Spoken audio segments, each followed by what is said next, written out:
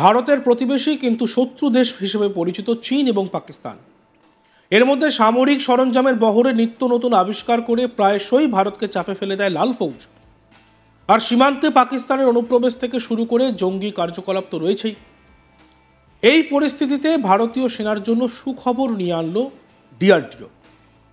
জানা গিয়েছে এই কেন্দ্রীয় সংস্থা এমন একটি দৈত্যাকার প্যারাশুটের নকশা তৈরি করেছে, যে তাতে করে আস্ত একটা কামান বা গাড়ির ভার এবং ওজন বহন করা সম্ভব। এই ডিজাইন তৈরি করেছে ডিআরডিওর aerial delivery research and development establishment. আর এই নকশাকে সম্বল করে এই দৈত্যাকার প্যারাশুটটি বানিয়েছে কানপুরের গ্লাইডার্স ইন্ডিয়া লিমিটেড। ভাবতে অবাক লাগে না? এতদিন প্যারাশুটে করে দুর্গত এলাকায় ত্রাণ হিসেবে খাবারের প্যাকেট বা বড়জোর বিমান থেকে প্যারাগ্লাইড করতে দেখা যেত। কিন্তু এভাবে একটি প্যারাসুট থেকে আসতো একটি কামান বা গাড়ি যদি নেমে আসতে দেখেন, তাহলে কেমন লাগবে আন্দাজ করতে পারছেন? অবশ্য আমার আপনার বিষয়টি শুধু বিস্ময়ের হলেও শত্রুদেশ চীন এবং পাকিস্তানের অবস্থা কিন্তু রীতিমতো খারাপ, এই খবরটা শুনে। স্বাভাবিকভাবেই একটি প্যারাশুটেই যদি কোনো সীমান্তে এভাবে কামান বা গাড়ি বহন করে নামিয়ে দেওয়া যায়, তাহলে তো অনেক কম সময় সহজেই পৌঁছে যাওয়া যাবে। এবং মানে বুঝতেই পারছেন যে দুর্গম এরিয়া, দুর্গম যে জায়গা, সেখানে প্যারাশুটে করে সহজেই পৌঁছে যাওয়া যাবে। একটি কামান বা গাড়িকে বহন করতে হলে স্বাভাবিকভাবেই সেই প্যারাশুটের ওজন অনেকটাই বেশি হবে। জানা গিয়েছে যে প্যারাশুটে প্যারাগ্লাইডিং হয়, তার ওজন বড়জোর একশো পনেরো কেজি হয়। কিন্তু এই বিশাল প্যারাশুটের ওজন, যা দিয়ে একটি কামান বা গাড়ি বহন করা হয়, তার ওজন হতে চলেছে সাড়ে নয় হাজার কেজি। যা দিয়ে একটি হালকা ওজনের কামান বা সেনার গাড়ি সহজেই বহন করা যায়।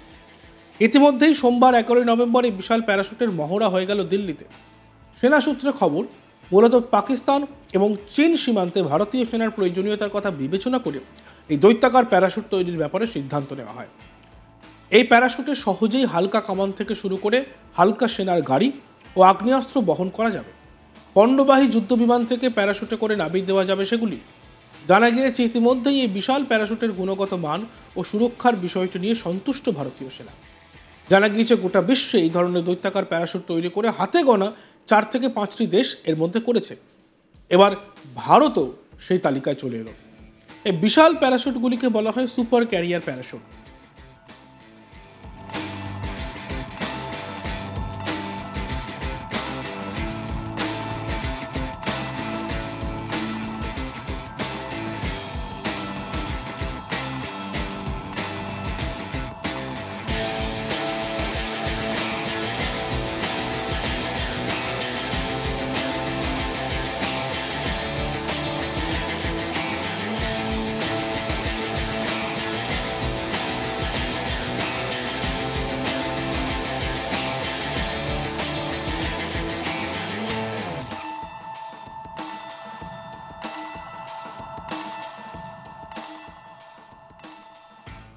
ভারতের প্রতিবেশী হিসেবে পরিচিত এবং শত্রু চীন এবং পাকিস্তান, এর মধ্যে সামরিক সরঞ্জামের বহরে নিত্য নতুন আবিষ্কার করে প্রায়শই ভারতকে চাপে ফেলে দেয় লাল ফৌজ।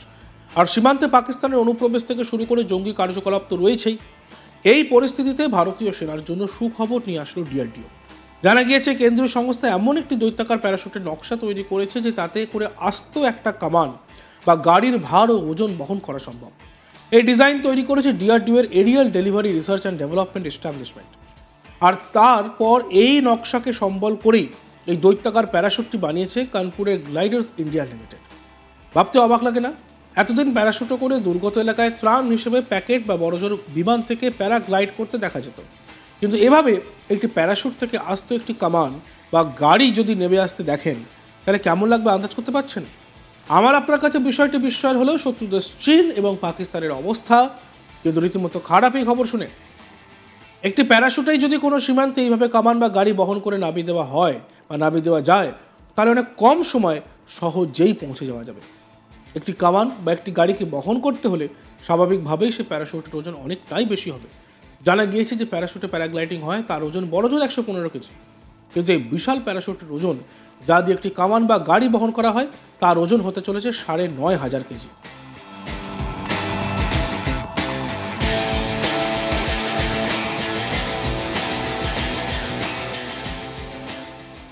দেখতে থাকুন আজ তাক বাংলা, সাবস্ক্রাইব করতে ভুলবেন না।